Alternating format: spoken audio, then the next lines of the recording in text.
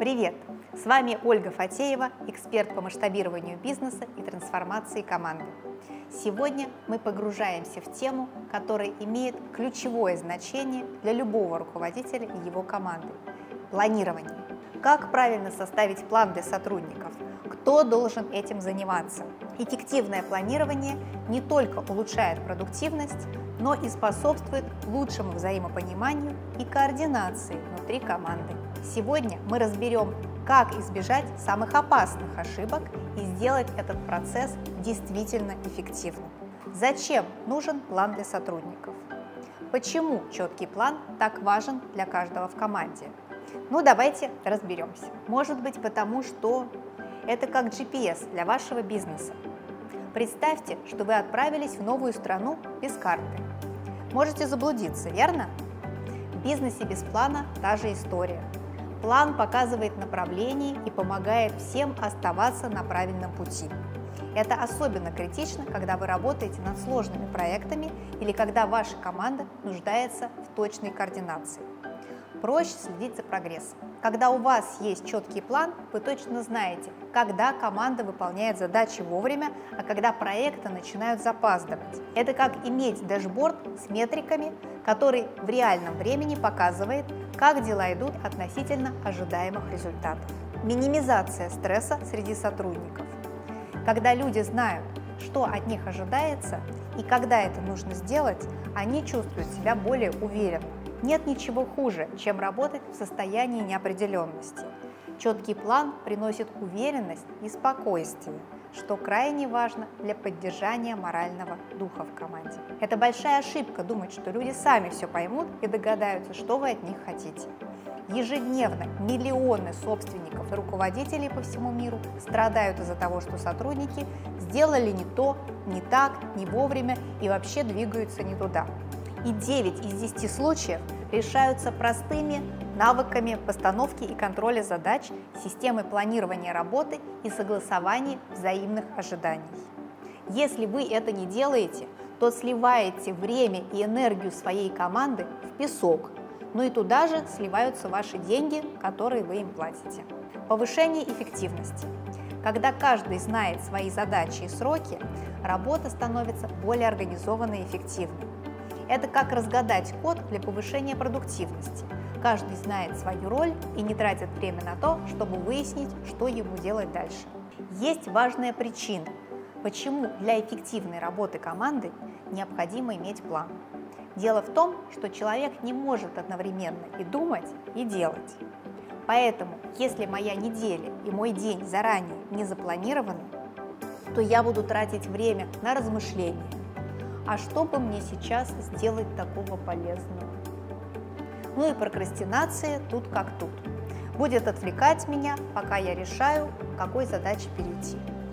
Эта история справедлива для каждого человека. Проверьте ее на себе, и вы убедитесь, что вы наиболее продуктивны, когда ваши задачи э, в течение дня расписаны по часам.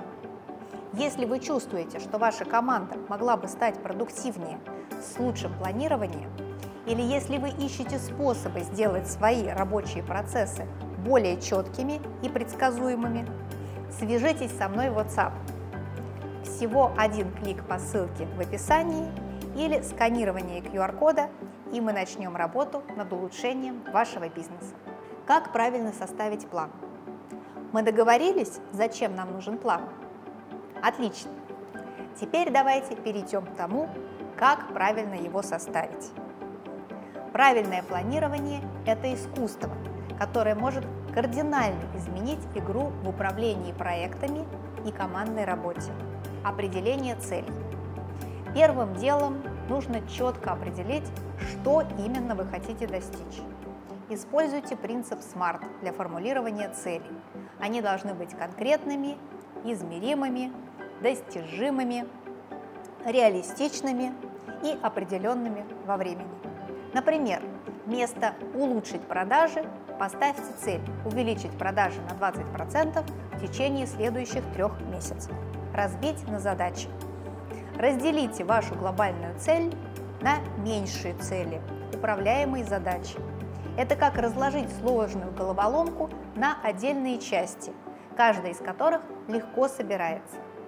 Определите, какие действия необходимо выполнить, чтобы достичь каждой из целей. Это поможет упорядочить процесс и сделает следующие шаги более понятными для всей команды. Распределение ответственности. Ключ к эффективному выполнению задач – четкое распределение ответственности. Убедитесь, что каждый в команде знает, что от него ожидается. Это можно сделать, назначив ответственных за каждую задачу или участок работы.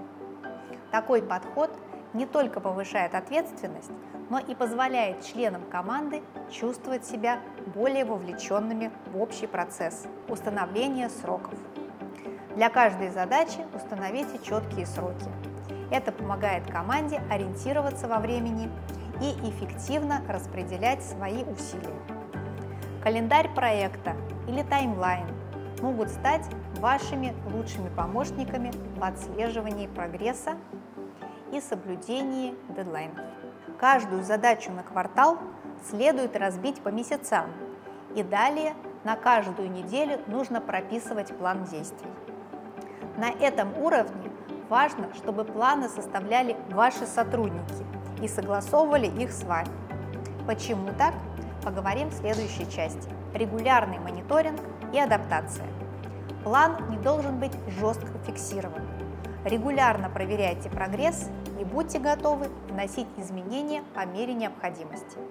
Регулярные встречи с командой для обсуждения прогресса и возможных трудностей помогут держать руку на пульсе и вовремя корректировать курс. Несколько месяцев назад мы провели стратегическую сессию с моим клиентом, собственником агентства недвижимости. Мы разбили его цели на квартал на конкретные шаги с помесячными задачами для него и для его команды. Во время сессии выяснилось много интересных нюансов, о которых никто бы не подумал, если бы мы вместе не сделали эту работу. По итогам трех месяцев мы увидели, что 80% задач были выполнены, остальные скорректированы или отменены. И это прекрасный показатель, так как главные бизнес-цели оказались достигнуты. Если вы хотите узнать больше о том, как эффективно планировать и достигать поставленных целей, или нуждаетесь в индивидуальной консультации, свяжитесь со мной через WhatsApp. Просто нажмите на ссылку в описании или отсканируйте QR-код. Давайте сделаем ваше планирование проще и эффективнее. Помните, что хороший план – это ваш лучший инструмент для достижения успеха в любом деле. Кто должен заниматься планированием? Теперь, когда мы разобрались, как правильно составить план, давайте определим, кто должен брать на себя ответственность за этот важный процесс.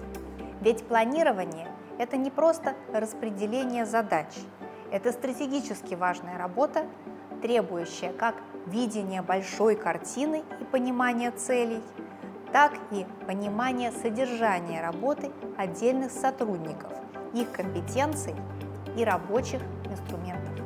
Первое. Высшее руководство. В начале планирования, особенно когда речь идет о стратегическом планировании, в процессе должны активно участвовать высшие руководители компании и, конечно, первое лицо. Они определяют общее направление развития бизнеса и устанавливают приоритеты, которые должны отражаться в планах на более низких уровнях управления.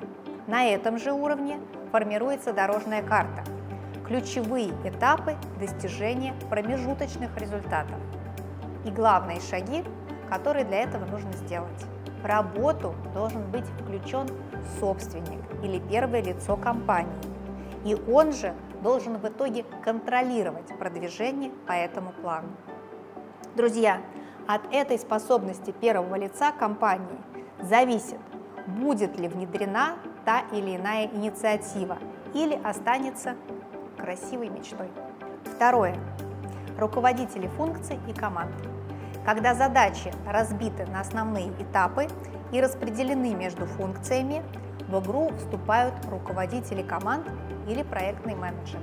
Эти люди находятся в тесном контакте как с высшим руководством, так и с исполнителями, что позволяет им эффективно координировать работу и управлять ресурсами. Они должны обладать хорошими организационными навыками и умением мотивировать команду.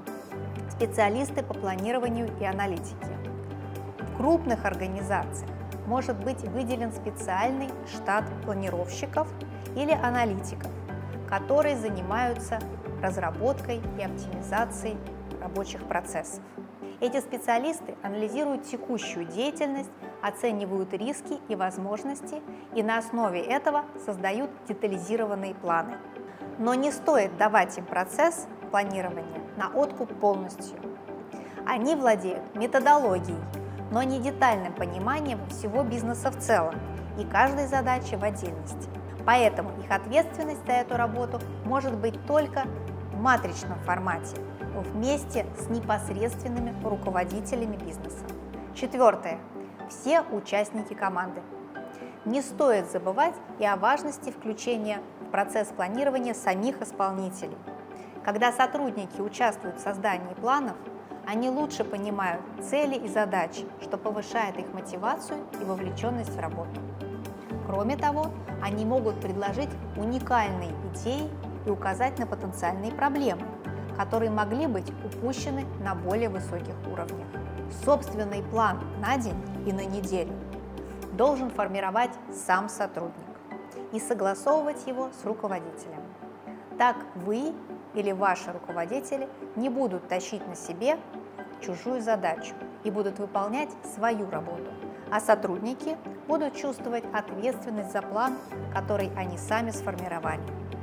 В зависимости от размера и структуры вашей организации процесс планирования может варьироваться, но ключевым моментом является взаимодействие между всеми уровнями управления и прямыми исполнителями. Эффективное планирование требует командной работы и четкого понимания общих целей и задач. И вот мы подошли к концу нашего разговора о том, как и кем должно быть организовано планирование в компании. Надеюсь, вы нашли эту информацию полезной и уже готовы применить эти знания на практике.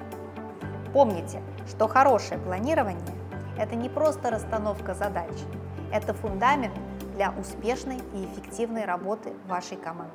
Подписывайтесь на мой канал и ставьте лайк этому видео, если вы нашли его полезным. Также оставляйте ваши комментарии под видео. Мне будет интересно узнать ваше мнение и опыт, и вопросы в области планирования. А еще у меня есть для вас особенный бонус.